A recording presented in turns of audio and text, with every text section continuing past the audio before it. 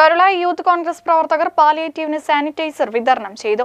മണ്ഡലം Congress president Suresh Babu Aneesh Karulai T K Hashim Manoharan Varakkulam തുടങ്ങിയവർ സംസാരിച്ചു. Palliative ഭാരവാഹികളായ ശ്രീകുമാർ മാസ്റ്റർ എം കബീർ എന്നിവർ സാനിറ്റൈസർ ഏറ്റുവാങ്ങി.